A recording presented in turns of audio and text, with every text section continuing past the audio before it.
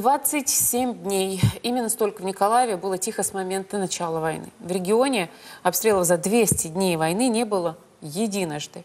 Только 29 августа. Об этом сообщил Виталий Ким, глава Николаевской областной администрации. В субботу город снова обстреляли. Какие последствия обстрелов, как Николаев встретил День города и что значит э, шутка Виталия Кима про велосипеды и российских солдат. Глава Николаевской облгосадминистрации с нами на связи. Виталий, здравствуйте. Здравствуйте. Добрый день. Давайте начнем с последних новостей. В Николаевской области пять человек получили ранения в результате российских обстрелов за последние сутки, среди которых ребенок. Об этом в Телеграме сообщила председатель Николаевского областного совета Анна Замазеева. Э, расскажите подробнее об этом обстреле, какие его результаты. В одном из районов города, скажем так, близко к центру, был нанесен удар, попало около пятиэтажки, один подъезд полностью разрушен, и пострадали люди. Так они нас поздравили с Днем города. Да, вот, кстати, день, Что день касается, а, да. Да-да-да, продолжайте, извините. Были атакованы Березнеговатое, э, Березнеговатое село Мартынивка. То есть они обстреливают на постоянной основе села и населенные пункты в линии огня. Город Николаев поздравлен был в такой способ. Э, вот в 200-й день с начала российского вторжения, вот как раз получилось так, что в этот день был город, день города Николаева. А, ну, как он, ну, если не брать внимание вот этот обстрел, как он, э, каким он стал для горожан э, Николаева? Как вообще город противостоит этим постоянным, непрекращающимся обстрелам? Ну, скажем так, я сказал бы, что День города прошел как обычный рабочий день Э, в этом году. Мы, всегда, мы обожаем наш День города, мы всегда праздновали его выходные целые. есть, надеюсь и уверен, что в следующем году мы полноценно встретим за два года вместе с нашей победой вспомним этот день, отпразднуем наш День города. В целом люди работали, то есть обыкновенные рабочие выходные, скажем так, потому что у нас тут на войне выходных не особо. В субботу российские войска очень мощно обстреляли э, город, попали в двор пятиэтажки, там 9 раненых. Какие еще результаты этого обстрела? Ну, в общем-то, все. Если говорить о пятиэтажке, они стреляли именно туда. Э, сегодня ночью был обстрелян э, Вознесенский элеватор, с зерном, то есть они там отчитываются, что опять куда-то попали. Ну, мы дадим развернутые данные чуть позже по этому поводу. Э, э, этот же элеватор около пятиэтажки, который был в Вознесенске. Вот. Логики в этом нет. Что заметил? То, что неоднократно русские оккупанты, ну, уже раз пять, бьют по тем же самым целям, которые уже раньше били. То есть не попали в здание, оно разрушено там, там никого нет, не было. Они еще раз туда бьют. По моему субъективному мнению, это либо у них уменьшилось количество информации, они просто обязаны куда-то стрелять и бьют по старым координатам, либо какое-то новое руководство бестолковое, которое не, раз, не разобралось и точно так же отрабатывает старые цели.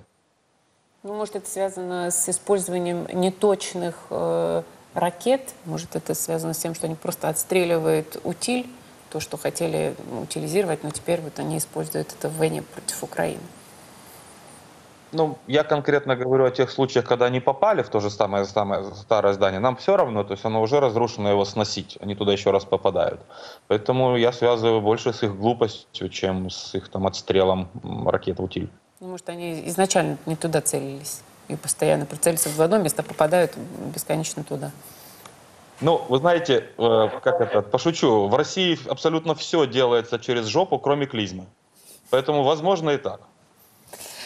Эм, а как ситуация вообще в области? Не только в самом городе, да? Расскажите о районах, которые оказались, вот вы упомянули о линии огня, да, которые находятся. Какая там ситуация? Там люди остаются, они не выезжают?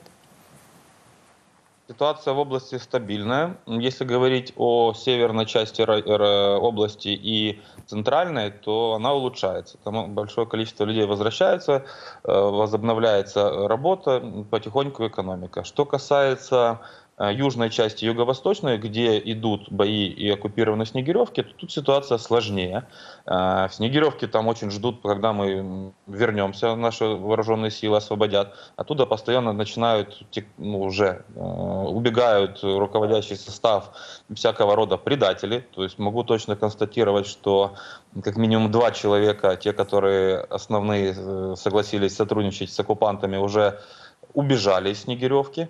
Вот. Ну и, собственно, Кроме этого всего, русские придумали такую историю и пытаются раскручивать, что, мол, есть команда не стрелять, что там договариваться с нашими военными о том, чтобы они могли отойти за сторону Днепра. Это ерунда, это они пытаются успокоить своих солдат, которые они там бросили на нашем на нашей части, для того, чтобы они сидели и ждали, пока кто-то договорится. Но нет, то есть э, руководство сбежало за Днепр, солдат своих побросало здесь, у всех панические настроения. Виталий, вот э, обстрелы в основном ведутся вот этими вот э, версиями С-300 для наземных целей, которые переделали россияне. А вот в частности, э, э, спикер командования воздушных сил Украины э, Юрий Игнат э, сказал, что ну как бы единственные два выхода какие для того, чтобы обезопасить Николаев, то есть либо нужно уничтожить вот эти вот комплексы С-300, которые там где-то расположены и наносят удары, ну либо отодвинуть э, еще дальше от города их там на более чем 75 5 километров, по-моему, дальность. Как на ваш взгляд, вот какой из этих э, вариантов более реальный сейчас? Э, вы абсолютно правы. Именно эти два способа возможны. По памяти, э, из тех, о которых мы знали, из 11, 9 установок уже было уничтожено нашими вооруженными силами за последние там, 2-3 недели. А, линия фронта действительно надо отодвинуть более чем дальность, которой они достают. Э, единственная поправка то, что он в день города по нам ударили ракетами не С-300, по нам ударили ракеты типа «Оникс», ну, другой ракеты. То есть, в принципе, эта задача уже выполняется, и э, уменьшение количества обстрелов Николаева, э, города Николаева ракетами С-300 я связываю также с тем, что вооруженные силы успели успешно уничтожают установки и отталкивают их дальше, потому что русские оккупанты понимают, что мы знаем, где они, и их уничтожаем показательно. Ну какая вообще основная цель ракетных обстрелов Николаева? Если все равно россияне не двигаются террор, вперед. 100%. процентов террор для того, чтобы отчитываться, что у них хоть какие-то есть здесь успехи. Но мы видим по Харькову, что эта стратегия у них ошибочная, бестолковая. То есть как, как только наши вооруженные силы там, начнут э, активные действия, активные-активные, будут они бежать так же самое, как и в Харькове. Единственная проблема, что у них преграда будет еще водная, приличная. То есть, скорее всего, будут больше сдаваться. Виталий, если обобщить, э, вот за 7 месяцев войны в Николаеве было тихо только 27 дней. То есть разрушения, очевидно, очень большие в городе. Вы можете рассказать, как идет восстановление города, э, в каком, может, в процентном соотношении, да, и какие есть разрушения, сколь критичны они? Значит, э, скажу за регион, то есть, ну, скажу сейчас про, про город. Да, действительно, 29 дней было тихих, из них 6 дней было за последние две недели, связаны с тем, что ухудшилась ситуация у русских. Э, больше 10 тысяч э, домов, больше 10 тысяч объектов были разрушены или повреждены за этот период. Из них около 7 тысяч это дома, многоэтажные частные дома. Э, инфраструктуру мы всю восстановили, там 90 с чем-то процентов. Дома, к сожалению, все не можем. Ремонтируем по мере поступления материалов, по мере наших возможностей. Вернее, материалы есть с запасом, возможности ограничены. Часто раздаем людям, чтобы они сами э, тоже помогали себе. То есть разрушено много, но, скажем так, самое главное, что у нас, э, слава богу, небольшие потери людей. То есть здание это плохо, но хорошо, что не погибают люди очень массово. Виталий, вот э, обсудим сейчас э, вашу, ваш пост в Телеграме, где вы написали, что вот народная примета, если вторая армия мира начинает отбирать велосипеды у гражданских, то это к жесту доброй воли. То есть российские солдаты, они реально уже убегают на, на чем угодно, там, на велосипедах, лишь бы убежать.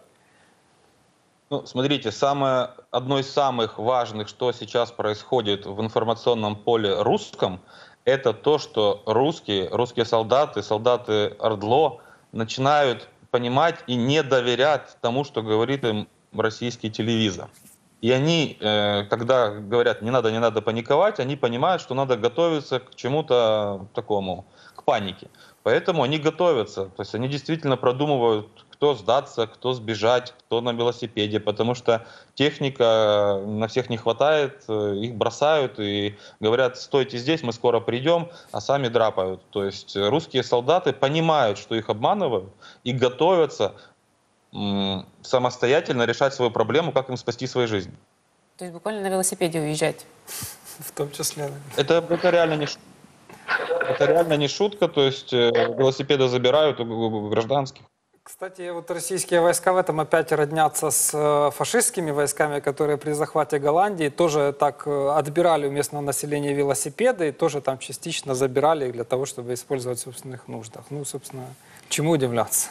Виталий, спасибо большое, что Спасибо нашли время с нами пообщаться. Это был Виталий Ким, э, глава Николаевской облгосадминистрации. Мы с ним поговорили о ситуации в регионе и о прогнозах действий российской армии.